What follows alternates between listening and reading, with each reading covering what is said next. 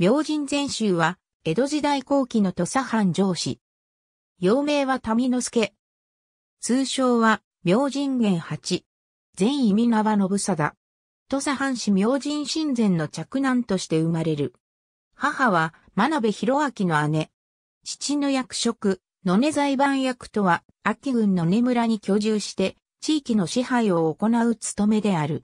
1840年3月28日、土佐藩主、山内豊助に総領を目見へ仰せつけられる。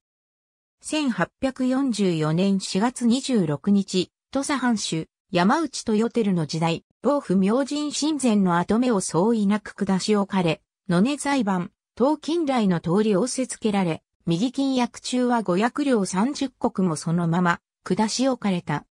合衆国水指定特工場所左より、ヘンリー・アダムス副使、ペリー水指定特、アナン軍師1853年7月8日、マシュー・ペリーの率いる軍艦が、裏側沖に現れ長夜は、騒然とし、土佐でも沿海岸における国防の機運が高まった。1854年2月20日牛の下国、ペリーの二度目の来航の際、ペリー艦隊は100発以上の空砲を、祝砲、礼砲、合砲の名目で撃った。備前藩はこれを威嚇射撃と開始、砲弾の一部が須崎を警護する備前、岡山藩陣地の10メートルほど手前の海中に落下したと主張して、非常招集を行い大砲5門をもって黒船に砲撃した事件が起きる。この事件を受けて、1854年2月21日、土佐藩では、明神全州が山内陽道より秋軍奉行を仰せつけられ、異国船打ち払い、御用を仰せつけられた。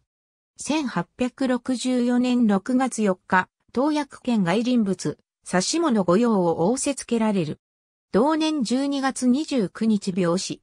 明神家は、長祖壁氏の旧臣で、土佐藩の上司の家柄。家禄は200国で代々薬料を30国を下し置かれ、都合230国を藩だ。幕末の当主、明神禅道は、馬回り役に列した。ありがとうございます。